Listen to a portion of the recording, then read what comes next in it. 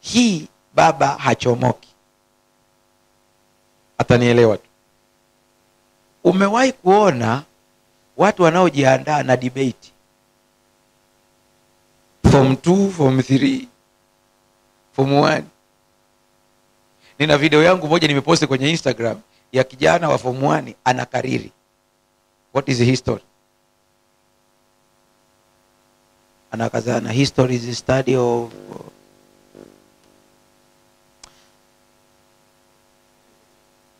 past human activities and uh, history is study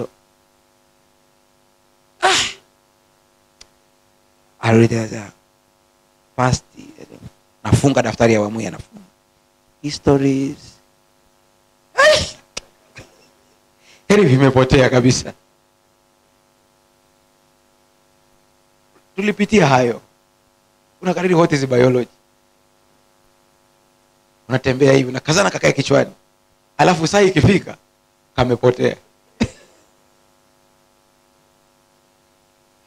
Mwana mpotevu akasema ninatengeneza speech. Nenda ukaisome vizuri spich yake kwa muda wako. Anasema nitarudi kwa baba. Na kumwambia nimekosa. Umeona speech ilivyopangiliwa eh? mbele za mbingu na mbele za sistahili kuitwa mwana wako tena angalau niwe kama mtumwa. Sikia nikwambie hata si tulioko hapo tuongee ule uhalisia wa maisha yetu. Kuna saa unamkosea mungu. Na ile dhambi iliyotenda sio kana kwamba ulikuwa hujui kwamba ni dhambi. Ulikuwa unajua lakini uliamua kutenda. Na kuna saa unasikia hatia moyoni. Mpaka unasema sasa narudi kutubu. Na unajikuta unajipangia maombi kichwani kana kwamba mungu naye hajui kusoma ubongo mpaka unasema nitarudi. Nikifika chumbani nafunga chumba. Nikifunga chumba nitapiga magoti. Nikipiga magoti nitaanza kwa kusifu kwanza. Nitamwambia mungu unastahili kuheshimiwa baba. Alafu nikitoka hapo nitaimba wimbo namba tatu. Unapangilia vitu vyako vyote lakini ukweli ukifika pale ile unavyojipanga ngoja nikwambie sasa ili uelewe. Kuna nguvu fulani. Naposema nguvu namaanisha energy ambayo haionekani kwa macho. Unapoanza kumtafakari mungu hiyo nguvu inaonekana. Na shetani anaiona ila hajui unatafakari nini. Iko sawasawa kwa anapoiona anajua huyu anakwenda kuomba sasa. Ngoja niende naye unaingia chumbani kwako na yeye anafuata. Ile umekaa tu naye anachukua kigoda chake naye anakaa pale. Ah, anajua okay. Katika vitu vitatu alivyofanya juzi kimoja wapo lazima ndo anakiombea. Na navyomjua huyu itakuwa ile dhambi ile ndio anataka kuitubia. Kwa, kwa sababu anahisihisi shetani anaanza kupitishia vitu vinne vitano ulivyokosea. Anakupitishia cha kwanza kuchelewa kanisani anakuta kinakugusa lakini sio sana. Anakuletea cha pili. Ulimjibu mkeo au mme wako vibaya. Kinakugusa lakini anaona sio kivile. Anavuta pombe uliokunywa juzi. Akiileta anakuta unaanza kusema. Anajua ndio chenyewe. Sasa anaanza kuikuza sasa ndipo anaanza kusema hata nuhu walimkosea mungu. Dhambi hizi kubwa sana mungu anazichukia sana. Wa- walevi hawaingii mbinguni. Bibilia imesema usilewe kwa mvinyo. Yale mafungu nafikiri yanatoka kwa roho mtakatifu kumbe ni ya shetani. Naweza kusema mchungaji kwani shetani anaweza kunukuu mafungu? Nenda kamuulize yesu. Aliambiwa imeandikwa. Na alikuwa hajanukuu kibaya ni cha ukweli kabisa. Kwa anaanza kuyajaza kabisa anayaleta pale. Umekaa tu pale. Badala ya kumsikiliza mungu unaweza kumsikiliza nani shetani unaweza kusikiliza. Anakuletea mafungu kabisa nakwambia hata ombi lako navyoomba namna hii halisikiwi kwa kuwa bibilia inasema yeye ageuzae sikio lake asisikie sheria. Hata sala yake ni chukizo mbele za mungu. Unajikuta tu nasasa kumbe iko hivi sasa. Basi unanyanyuka hujaomba spichi yako imeishia hapo. Cha kwanza unakumbuka nimpigie pasta mbaga simu. Nimwambie nina mzigo moyoni mtu wa mungu ile unanyanyua simu unapiga usikia mteja unayempigia hapatikani kwa sasa. Unasema namba yake ya pili unajaribu tena. Kumbe wakati huo unampigia na yeye anamwombea mwingine au anamshauri mwingine au yupo kwenye maombi binafsi au yuko mimbarani anahubiri. Unapiga saba, saba hapokei shetani anakwambia ili ujue dhambi zako ni nyingi. Hata watumishi wa mungu wameonyeshwa wasipokee simu zako mwisho unasema da nimekwisha mwana mpotevu alipanga spichi yake kabisa. Akaamua akasema ninakwenda. Kasome kile kisa. Bibilia haisemi alienda kuoga kwanza. Umewai kusoma hicho kitu? Bibilia haisemi alienda kubadilisha nguo. Ah. kwa lugha nyingine uelewe unanisikiliza. Unapoamua kumwendea kristo usijipange kujisafisha dhambi zako kwanza. Ah, ah. Huwezi. Akaenda hivyo hivyo alivyo. Bibilia inasema baba yake akamwona kwa mbali. Kwa lugha nyingine baba alikuwa anasubiria kila dakika. Labda atarudi leo. Labda atarudi. Mpaka akiona mtu anapita tu namna hii anasema huenda ni yeye kumbe siye anakuja wanaonana. Spichi haikukumbukwa tena akasikia harufu ya nguruwe. Baba anapokukumbatia wewe anaisikia harufu ya dhambi. Ukweli uko hivi. Dhambi inanuka vibaya sana sana. Tusiipambe inanuka. Lakini mungu anakupenda kiasi kwamba anaivumilia harufu ya dhambi kwa ajili yako wewe ameshika vile vile anasikia ile harufu anaisikia. Alafu anapoisikia ndipo mungu anasema mwanangu nampenda harufu naichukia. Sasa nifanyeje? Anatoa oda anasema vueni vazi lake nanuka hili. Mvalisheni vazi lilo bora. Wala hasemi ondoka kwangu unanuka. Sema ah, kinachonuka ni nguo. Kinachonuka ni matendo yako. Hayo nitayatoa nitakupa haki ya kristo yesu. Akavalishwa vazi alafu anapomwangalia mguuni anakuta hana hata ndala. Asema sasa ni yupi mwenye suti mpya?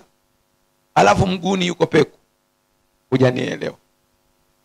Vazi aliyopewa sini jipya? Alafu mguuni? Piga picha unamwona mtu ana suti kali alafu peku ukiona sema hapa juu kuna wageni hapa. Nisikie. Mungu hakupatii msamaha wa dhambi tu na haki yake tu. Kuna vitu vya ziada. Anasema leteni viatu mumbalishe. Akabalishwa maana yake ni nini? Kwa Waebrania hii habari ya kuvua viatu ambayo tumeizoea ukwetu kule kwao pia ipo unapoingia kwenye eneo fulani unavua viatu. Unaposikia mvalishe viatu maana yake watumishi watavua viatu wanapoingia kwangu ila mwanangu ataingia na viatu vyake. Haleluya! Ni kana kwamba mungu anasema wewe uliniambia spichi yako naiona tangu zamani kwamba niwe kama mtumishi. Wewe sio mtumishi una dna ya kwangu. Wewe ni mtoto wangu sura zinafanana. Sitakubali ule chakula pale wakati tunafanana. Unakuja kula hapa. Kwa nini shetani anakuchukia? Ni kwa sababu wewe ni mtoto wa mungu na sura yake. Na mungu amegoma kukuita mtumishi. Mungu anakuita mwanangu.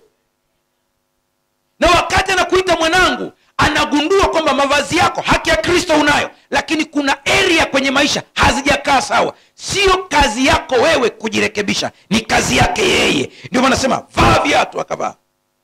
Alafu anapovaa sasa jamaa ana suti jamaa ana viatu jamaa liko smati linapendeza. Anasema sasa baba anaongezea mtu aliyevaa suti namna hii mtu aliyevaa viatu vya namna hii huwa ana- anasema ni ndama tena aliyenona.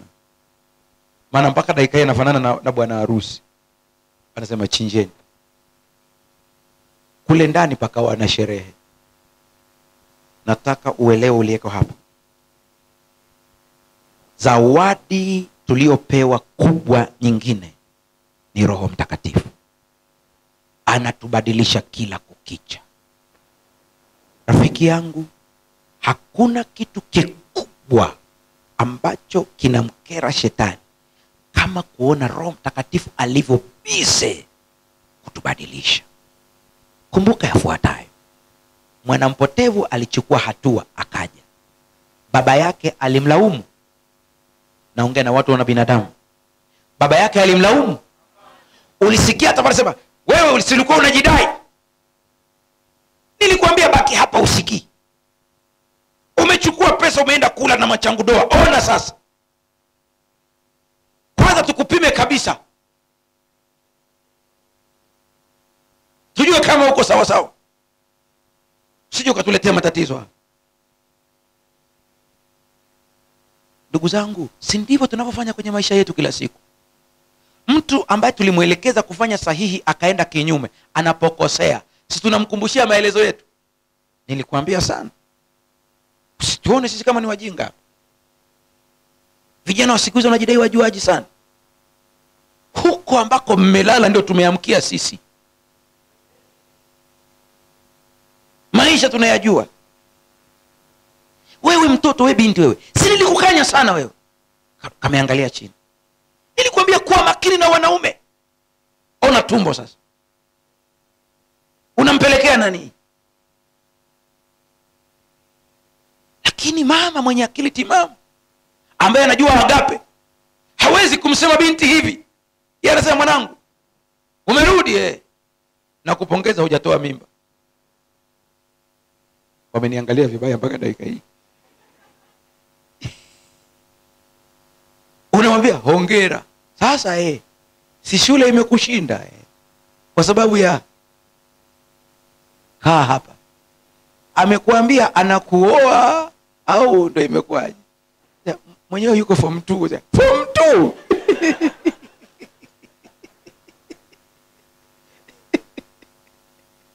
sasa mama na baba wanakaa wanawaza.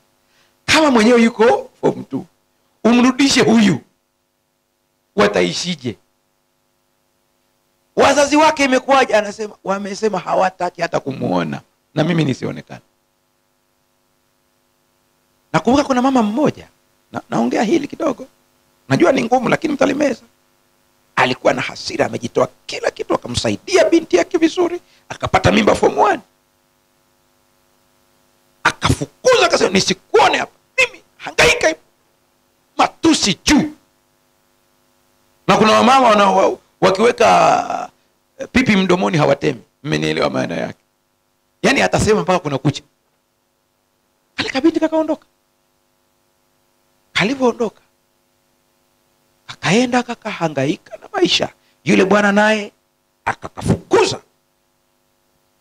Mama mmoja akakaona wakati kanafukuzwa maana wanaishi nyumba tu ya kupanga ni unajua nyumba za kupanga kuna kachumba kamoja ka- ka- kamvulana nikisema mvulana mnanielewa? Maana hata mwanaume hajafikia kuwa mwanaume bado. Nikavulana tu ambako kalimpa mimba msichana wa watu. Ha, hajafikia hata levo ya kuwa mama huyu huyu mama jirani akasikia wanavyofurumushana hapo ka- kamefukuzwa kale katoto toka nje katoka. Mimba ina miezi mitatu kama sijakosea. Yule mama yuko nani? Anasema jamani huyu binti hana kwao. Maana amesikia yale matusi ameyasikia ameyasikia. Mwisho akaamua kutoka sema mwanangu wee kwenu wapi? Hivi umefukuzwa? Asema huko ndo ameniambia wasinioni akasema ingia hapa ndani yule mama akampokea binti akaanza kumtunza akamtunza. Mume sasa. Huyu mtoto unamjua? Hapana. Aliyempa mimba ni mwanao. Asema hapana. Unahusikaje na huyu? Asema nimemhurumia tu maana. Ni tena alitumia kauli anasema kwa maana naye ni mtoto wa mke mwenzangu. Asema "Um- umesemaje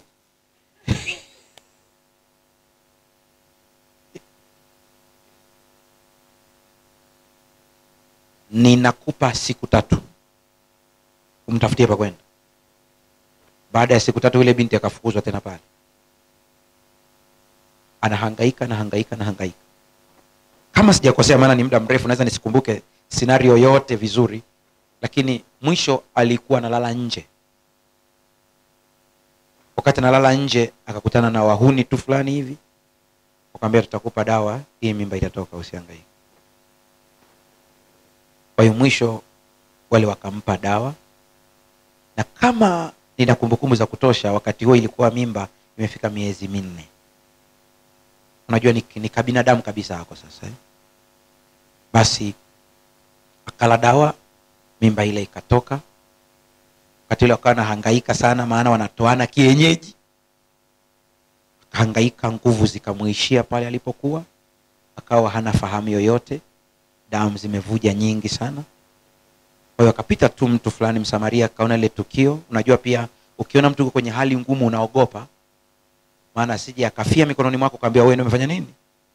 Kwa hiyo wakati ule anahangaika kutafuta watu tafuta watu tafuta watu pale. Kwa bahati kapita gari. Kumbuka natumia neno bahati kibinadamu. Lakini tunajua mbele za mungu hakuna bahati. Akamwona mtu akamsimamisha akasema kuna binti yuko hapa ametoa mimba naona kama vile anakaribia kufa tumsaidie tu angalau. Jamaa likajibu likasema siwezi kulea ujinga. Hawa ndio ovyo kabisa. Na, kusihi akabembeleza akabembeleza. Mungu jalia. Anakuja mama mwingine. Sijua mama wana tabia ya kufahamiana hisia zao. Alivyomkuta mama mwingine analia sema kuna nini? Akamsimulia sema lakini huyu baba amekataa. Wanafahamiana. Akamtaja kwa jina akamwambia fulani unakataa kusaidia mtu ambaye anakaribia kufa. Unajua ya kesho wewe mlete tumbebe akamchukua na damu zake na kile kiume ambacho tayari kimesha kufa. Chukua kaka kwenye gari akapeleka hospitali. Kufika sasa akasaidiwa tundika damu maana amefuja zimeisha kabisa. Wakamtundikia damu vizuri yule binti akazinduka akawa vizuri sasa. Anaanza kuangalia. Ndipo huyu ambaye amechukua uh, mwenye gari huyu mama anamuuliza wewe ni nani? Akamtajia. Unatokea wapi? Akataja. Sema kwetu ni tabora. Mtoto wa nani? Akaanza kusimulia. Huyu anaanza kutokwa na machozi sasa. Analia. Manesi wanamuuliza kwani unalia? Anasema fulani. Unakumbuka yule fulani aliyekataa pale tusimbebe huyu? Anasema ndio. Huyu ni mtoto wa kaka yake. Hana habari hivi inavyosema na wewe. Huyu binti ni mzima wa afya. Ni mtu mkubwa sana. Na hivi ninavyoongea na wewe naongea hii kwa ruhusa ya kwake mwenyewe. Maana agape imegusa maisha yake. Katika vitu alivyofanya ambavyo sitavisahau maishani mwangu huyu dada. Kwa sasa hivi yuko kwenye nafasi nzuri kubwa tu. Nikisema kubwa unanielewa. Mimi huwa sisemi kubwa kama sio kubwa nilimwambia maneno hayo wakati ndipo amepata position hii wakati tunamweka wakfu kwenye ofisi yake. Akanikumbushia story anasema mchungaji unakumbuka hiki? Nikinaambia ndio nakumbuka. Nikamwambia sikiliza. Usilipe kisasi kwa mtu yeyote aliyekufanyia ubaya. Haleluya. Na zawadi kubwa aliyotoa ni hii. Anamsomesha mtoto wa baba yake mdogo aliyekataa kumbeba wakati akiwa maututi agape. Haleluya. Haleluya. Kabla hujamtendea mtu kitu chochote kwenye maisha naomba roho mtakatifu akusaidia kulibeba hili. Kabla hujamtendea mtu chochote katika maisha najua tunaishi na watu. Najua wengine sisi ni mabosi katika kazi tulizo nazo. Najua mwingine mungu amekupa nafasi pale serikalini popote pale ulipo. kabla hujamtendea mtu chochote zingatia fuatayo kumbuka naye ni mtoto wa mwingine. Tuko sawa sawa? Hili lije akilini mwako. Kumbuka ni mtoto wa mwingine huyu. Lakini jambo la pili kumbuka na wewe pia hata kama huna mtoto unaweza kuwa na watoto wa ndugu zako. Je wakifanyiwa hiki ambacho unamfanyia huyu unajisikiaje? Tuko sawa sawa? Namba tatu. Kumbuka hili yesu yuko pote wakati wote. Anaona kila kitu siku ya hukumu ikifika utajibu nini kwa hiki? Haya matatu utakapoyazingatia akilini mwako tenda unachohitaji kutenda sasa. Kwa sababu haya matatu yatakwambia acha au endelea. Naomba tusimame. Siku ya kesho tutakuwa na programu nzuri sana ya viongozi ambao watakuja kwa ajili ya maombi maalum ambao utaweka katika hili box. Lakini kwa sasa hivi ninaomba kama wanaweza wakaja watu waimbaji kama watatu waje hapa mbele. Watatu kwa sauti tofauti tofauti waje hapa mbele. Niwaelekeze cha kufanya. Waimbaji ninawasihi watu wote mliosimama hapa na wale ambao wanatutazama kwa mbali. Tuimbe wimbo huu. Yesu anasema. Tunapoimba huu wimbo tuimbe kwa kutafakari. Ambao mnajua namba kwa haraka mniambie ni namba ngapi.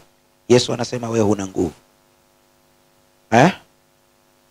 mia moja kumi na tisa alilipa zawadi hizi ambazo tumepewa tuzitafakari kwa wimbo huu alafu baada ya hapo nitawaelekeza tunaingia kwenye maombi kwa namna gani yesu anasema wewe huna nguvu yesu anasema twende yesu anasema wewe huna nguvu. Kesha ukaombe.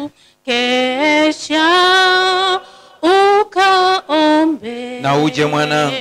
Na uje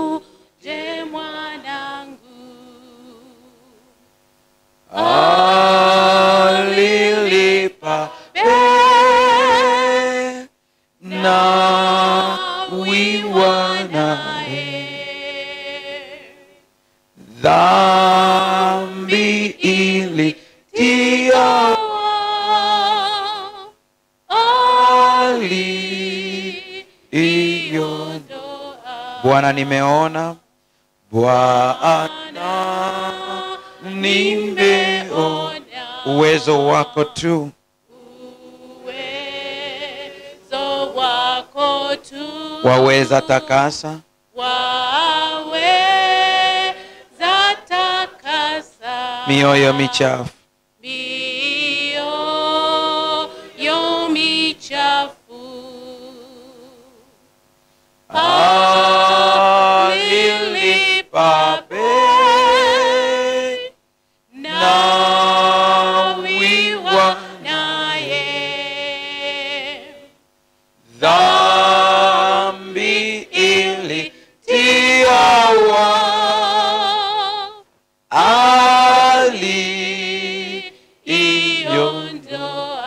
sina kitu chema. Sina kitu chema. Kudai neema. Kudai neema. Hivi nitafua. Hivi nitafua. Mavazi kwa damu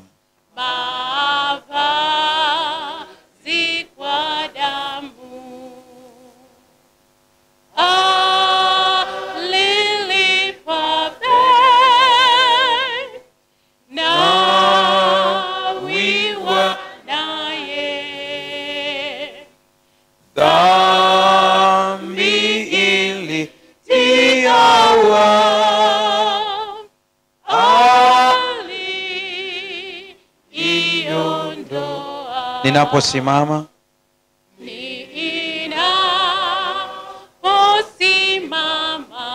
Juu ya mawingu. Juu ya mawingu. Ta- taweka taji. Nitaweka.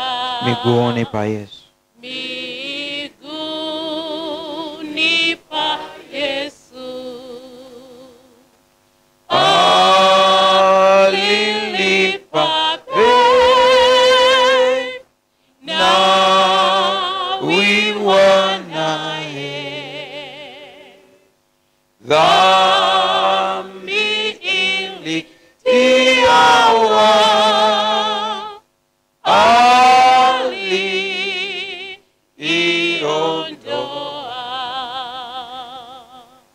kutokana kwamba eneo letu ni dogo na watu ni wengi, tafuta tu namna ya kupiga magoti. Ninakuachia dakika kadhaa, omba. Katika maombi hayo usisahau kuomba ujazo wa roho mtakatifu. Usisahau kuwaombea wengine. Usijitangulize wewe tu waombee wengine.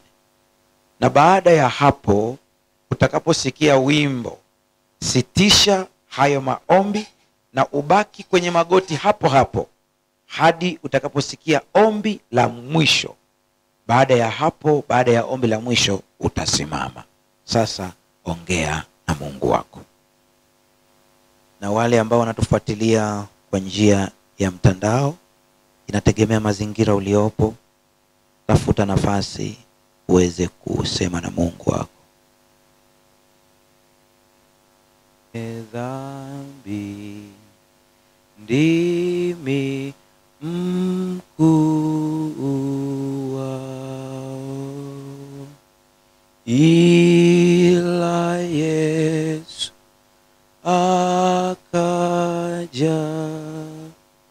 kwa dhambi alikufa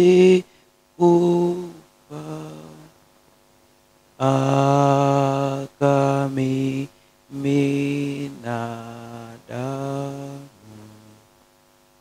Ni upate uzi. Ajabu pendo lake. Ajabu pendo la pendo lililo kuu pendo lisilo mwisho pendo lisilo mwi lidumulo milele. lidumulo mile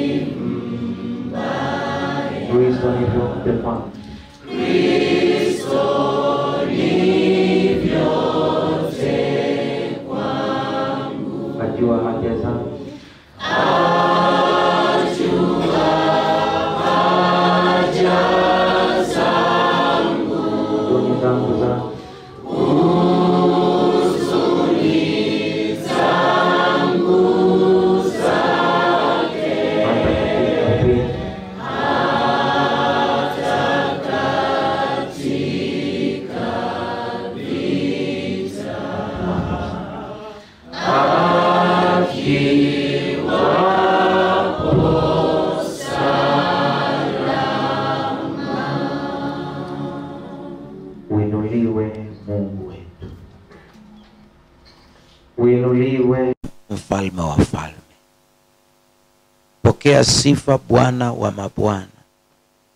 Hatuna mungu mwingine kama wewe. Tumpate wapi mungu anayetujali na kutupenda kama wewe? Tumpate wapi mungu anayetupa zawadi na kutufundisha kuzishikilia? Upendo wako ni zawadi kubwa kwetu. Ikiwa iko zawadi kubwa uliotupatia ni kutupenda. Tukijitazama sisi wenyewe hatustahili hata kidogo. Lakini katika uzuri wako na upendo wako ukatukumbatia hata kama tunanuka. Ukatushikilia hata kama mavazi yetu hayafai. Kwa neema yako ilivyokuu ukatupa vazi la haki ya kristo. Tunasimama mbele zako kana kwamba hatujawahi kutenda dhambi kwa sababu tu umetuvisha vazi. Hata kama hatujawahi kukushukuru pokea shukrani leo. Baba unatupenda. Katika zawadi hilo tupatia. Na sisi tunajitoa kwako. Tujaze roho mtakatifu. Atufundishe kila kukicha. Atufundishe tabia za huko mbinguni. Ili tuweze kuachana na tabia za dunia hii. Tupe ushindi wa dhambi kila siku tukijichunguza tunaona kasoro. Lakini wewe unaweza kutusaidia na kuziondoa kasoro hizi. Baba naomba kila anayelia leo kwa ajili ya jambo fulani mpatie ushindi. Ninakusihi mfalme wa amani. Kuna wazazi wanalia kwa ajili ya watoto wao. Wana tabia zisizofaa. Wengine ni walevi. Wengine ni wavuta bangi. Wengine wana tabia chafu ambazo hata kuzitaja ni aibu. Wapatie ushindi. Baba wapatie ushindi waachane nazo. Watembee katika barabara yako. Kuna mtu ameandika jambo fulani kwenye boksi hilo akaweka humo. Jambo hilo hata sisi hatulijui ila wewe unalijua. Karatasi hizo ni, ni ishara ya mioyo. Wajibu sawasawa na wingi wa neema yako. Unapotutendea sisi hapa watendee na wenzetu ambao wanatuangalia kwa njia ya mtandao. Tuunganishe kuwa kitu kimoja. Baraka inayoshuka hapa ikashuke kila mahali. Baba kwa miujiza ambayo utatutendea ndani ya siku kumi za maombi hatutamsifu mwanadamu yeyote. Tutaliinua jina lako. Neema yako yatosha. Kwa jina la yesu tumeomba na kuamini. Amen